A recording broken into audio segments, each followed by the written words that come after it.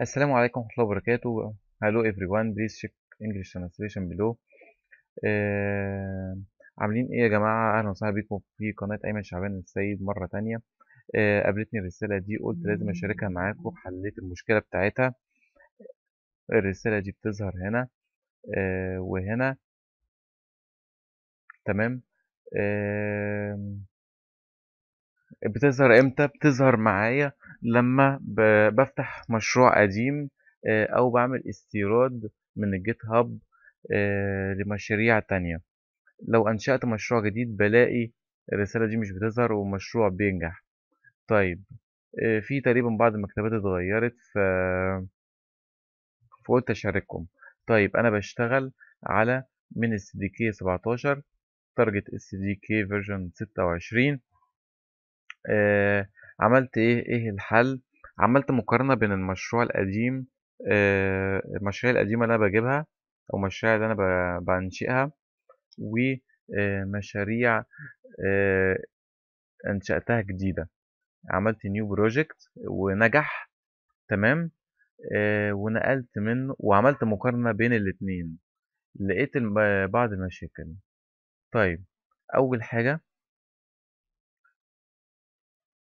وساعات كمان بتظهر رسالة بالشكل دوت. تمام؟ طيب أول حاجة قلت إيه؟ رحت المشروع شغال بنجاح. آه، قارنت الاتنين برضو نفس المكتبات. آه، عملت مقارنة بين الاتنين آه، نقلت نفس المكتبات هنا 26 ونقلت التول فيرجن للمشروع التاني. آه، الباقي كان هنا تمام. آم، المكتبات بقى كانت مختلفة. المكتبات كانت مختلفة أول ما كان في مشكلة. طيب نقلت المكتبات ديت. حتى هتلاقوني كده ناقلها برضو دلوقتي. هنا أهو. تمام؟ برضو بعد ما نقلتهم كان لسه المشكلة قائمة. رجعت تاني للمشروع اللي شغال. setting Gradle دي كانت موجودة تمام مظبوطة. آه، تمام ممكن نقفلها. هنا نقلت ال distribution URL ده كان مختلف. نقلته بالرقم بالظبط كده. تمام؟ آه، برضو آه، بعض ال errors قلت بس كان لسه في مشكلة. طيب جيت هنا. ماشي؟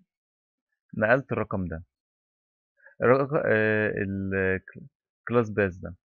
طيب لو وقفت عليه هيقول لك هينصحك إن أنت تكتب 3 1.1.2 تمام؟ 3.1.2 تمام؟ ما تعملش كده لأن أنت لما هتعمل كده هيحتاج هيطلب منك SDK أعلى من ناحية تانية هيظهر error errors أخرى تمام؟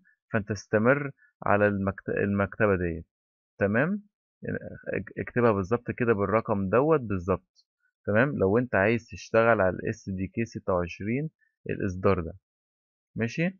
ماشي. طيب. آه وتأكد إن هنا في جوجل آه وال- وال JCenter. وهنا كذلك. يبقى هنا repositories. وهنا ك- مرة أخرى تحت ال repositories. تمام؟ وتأكد من الايه من ده مكتوب بالظبط طيب. قلت ال errors ولسه في error تاني برضو. آخر حاجة. قارنتها. Gradle wrapper properties لا مش ده برضو ده عدى علينا. هجيبهولك. هو ده. Gradle properties تمام؟ ده. الحتة الجزء ده بقى ما نيجي نبص عليه في البرنامج اللي بتاعنا اللي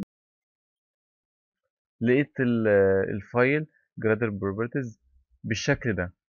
تمام؟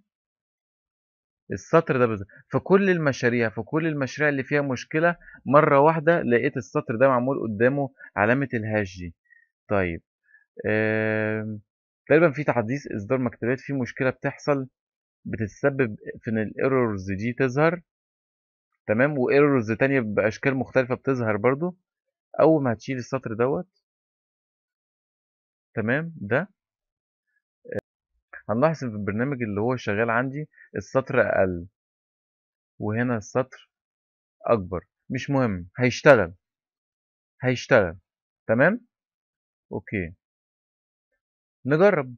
نعمل try again وهننتظر waiting أهو. تمام؟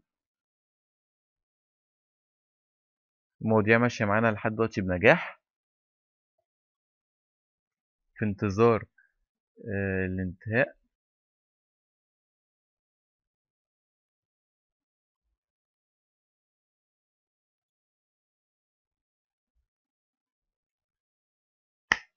zero errors. no errors. Build successful. تمام؟ تمام.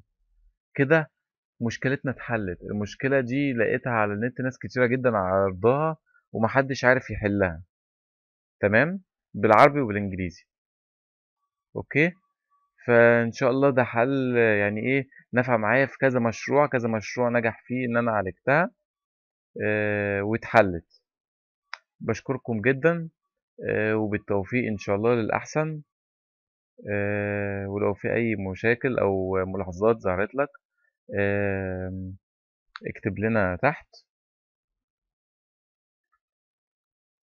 رأيك يهمنا. آه مستنيين عمل subscribe مستنيين ال comment بتاعك آه وال like وال share. آه أي مشاكل اعرضها معانا على ال group بتاعنا على الفيس أو صفحتنا على الفيس.